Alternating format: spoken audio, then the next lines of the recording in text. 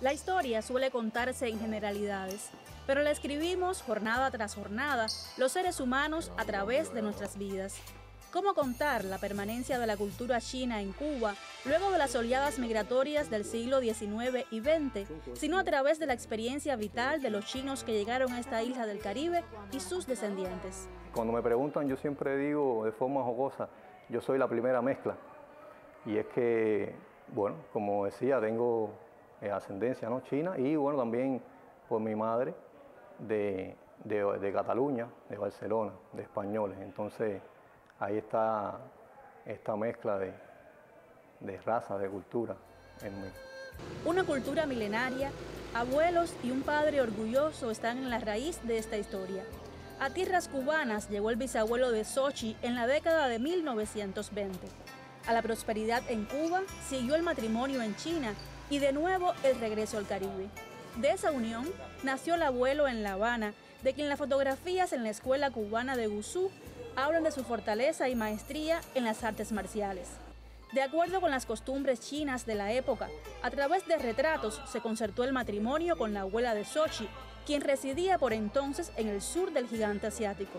De la unión, una vez consumada en Cuba, nacieron cinco hijos. El mayor, Jorge Antonio, padre de Sochi. Mi padre me puso el nombre de Jorge Antonio porque él era muy admirador de Antonio Maceo y, mi apellido por parte de padre Alay y por, parte de madre Jo.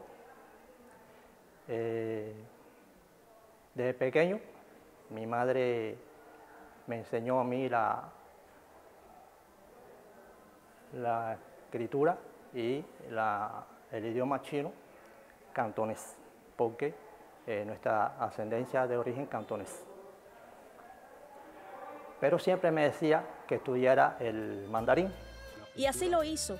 Aprendió el mandarín en el casino Chunghua en La Habana y en la escuela de idiomas Abraham Lincoln de mano del profesor Héctor Fong. Más tarde, en la Casa de Artes y Tradiciones Chinas, impartió clases y llegó a ser lo que él llama un profesor hecho a la marcha y no de carrera. Ahí estuvo mi madre anteriormente impartiendo clases y cuando allá se, jubila, pues eh, nos deja a mi hermana y a mí, que también ella es eh, estudiosa del, idioma, impartiendo clases. Mi hermana imparte clases a los niños y yo a los adultos.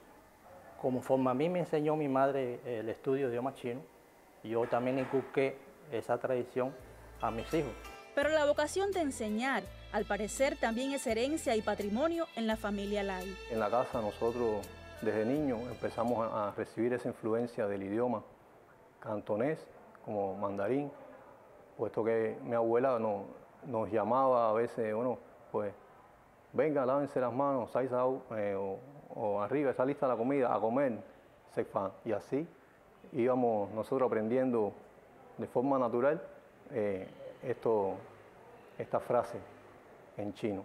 Y también la escritura de caracteres chinos, eh, que no era fácil a, mi edad porque éramos bien pequeños. Posteriormente, aquí en el barrio chino, en la Casa de Artes y Tradiciones Chinas, eh, también mi abuela, como parte de lo que hoy se llamaría un taller comunitario, impartía clases, no solo para estos niños descendientes, sino también para los niños de, la comunidad, sin distinción.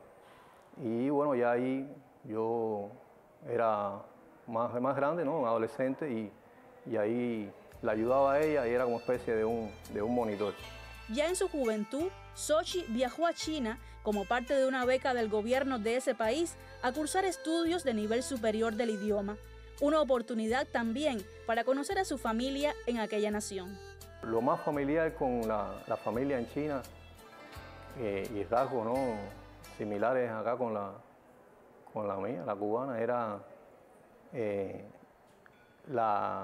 el acento a la hora de hablar, era prácticamente el mismo me recordaba los años de infancia, mi abuela cuando eh, me hablaba en su dialecto y también la, comida, la, culinaria, ese, ese sabor eh, era, era el mismo. Aquí en Cuba, padre e hijo siguen cultivando el amor y respeto por su cultura originaria, sin dejar de sentirse cubanos. Traté de que la, la cultura que me enseñaron mis abuelos y mis padres, trasladárselo a mis hijos. El respeto, la disciplina y la dedicación al estudio. En el Instituto Confucio de la Universidad de La Habana sigue Xochitl Sánchez compartiendo el legado de la cultura de sus ancestros chinos. Daily Pérez Guillén, Cuba Visión Internacional.